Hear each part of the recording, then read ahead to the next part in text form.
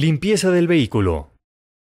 El vehículo siempre debe estar limpio y en buen estado, así cuidarás la salud de tus ocupantes y darás una buena impresión. Para limpiar el exterior del vehículo necesitas un trapo húmedo, uno seco, un cepillo y shampoo para vehículos. Sigue estos pasos. Moja el trapo húmedo en una cubeta con shampoo y pásalo por la superficie del vehículo. Seca inmediatamente con el otro trapo. Humedece el cepillo de la escoba para lavar los neumáticos. Lava los utensilios cuando termines. Para limpiar los cristales, haz lo siguiente. Cierra las ventanas. Humedece un trapo en agua con jabón y frota las ventanas hasta remover toda la suciedad. Limpia con otro trapo húmedo sin jabón para quitar los restos de detergente. Seca las ventanas con hojas de periódico o con un trapo seco. Sigue los pasos anteriores para limpiar los cristales por dentro. Puedes encerar la carrocería para que se conserve limpia por más tiempo. El interior del vehículo debe encontrarse limpio y sin olores desagradables. El suelo debe estar libre de huellas o suciedad y seco. Las agarraderas y manijas no deben de estar pegajosas o sucias. Para limpiar el interior del vehículo, sigue estos pasos. Limpia el tablero y volante con un trapo seco. Limpia las manijas con un trapo húmedo hasta remover las huellas y la suciedad. Seca con otro trapo. Quita toda la suciedad y barre el suelo. Sacude o aspira los asientos y tapetes. Abre las ventanas para que se ventile. Recuerda que al finalizar tus operaciones debes entregar el vehículo limpio y llenar el reporte correspondiente.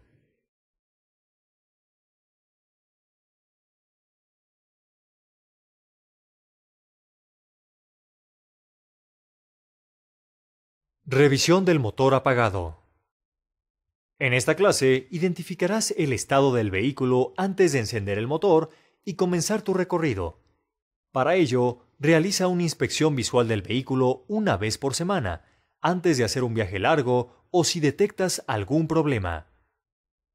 Si notas que el vehículo estacionado está desbalanceado, es muy probable que un neumático no tenga la presión adecuada o esté averiado.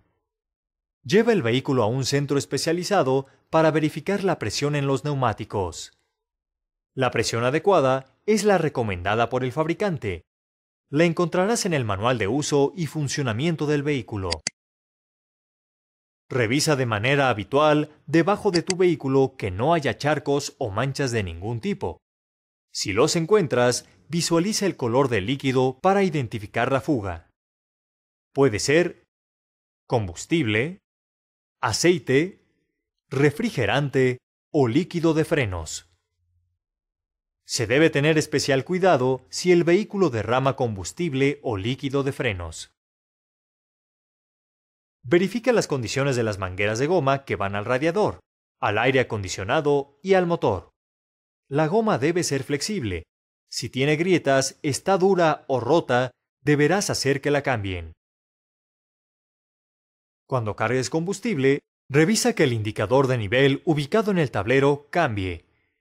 Anota en tu bitácora los días que llenes el depósito de combustible y el monto.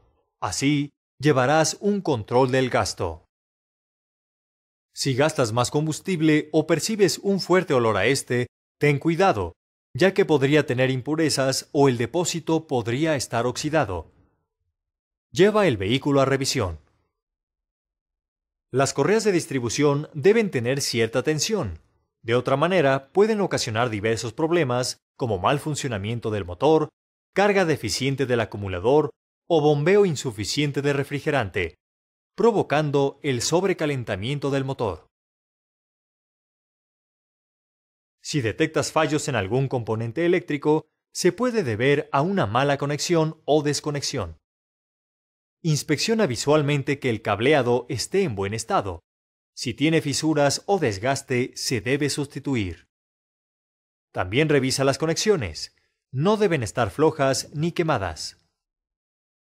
Para ubicar el acumulador, consulta el manual de propietario. Varía dependiendo el modelo de transporte. Con un trapo limpia el acumulador. Después, con agua tibia y cepillo remueve la corrosión. Desenrosca las tapas para revisar el nivel del electrolito. En caso de que tenga un nivel bajo, lleva tu vehículo con un especialista. Haz una lista con los componentes que revisaste, poniendo una marca que indique su buen estado o funcionamiento. Así, podrás prevenir accidentes y llevar un control del vehículo.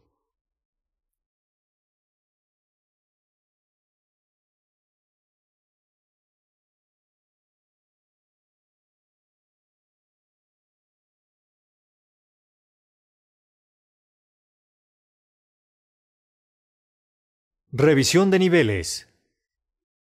En esta clase aprenderás a revisar los niveles de refrigerante, aceite del motor, el líquido de frenos y su mantenimiento. Para verificar el nivel de refrigerante, haz lo siguiente. Localiza el contenedor del refrigerante. Abre la tapa del nivel de refrigerante cuando el motor está frío.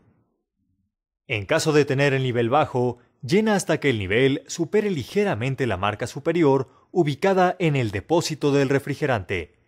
Evita usar agua ya que dañarás tu automóvil.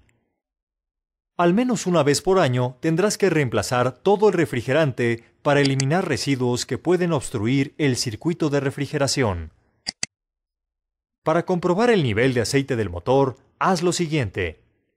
Con la varilla de medición del nivel, revisa que existe el nivel de aceite adecuado verificando la marca indicadora. Para cambiar el aceite, pone en marcha el motor hasta que alcance su temperatura de funcionamiento. Apaga el motor y retira la tapa de llenado de aceite. Coloca un recipiente para almacenar el aceite y retira con cuidado el tapón de drenaje. Coloca el tapón como lo indica el fabricante. Llena con lubricante nuevo hasta el nivel indicado. Cambia el aceite cuando esté degradado o cuando lo especifique el fabricante. Para verificar el nivel adecuado del líquido de frenos, sigue estos pasos. Localiza su depósito. Limpia la parte superior del depósito con un trapo seco para evitar cualquier contaminación. Destapa el contenedor e inserta un trapo limpio de color blanco, verifica su color y si es color oscuro, deberás llevar el vehículo a revisión. En caso de que sea color claro, revisa que el nivel se encuentre por arriba de la marca superior. De no ser así, rellena con líquido recomendado por el fabricante. Es necesario cambiar de líquido de frenos cada dos años. Si detectas alguna fuga, llévalo a reparación, ya que puede ocasionarte problemas como el sobrecalentamiento del motor.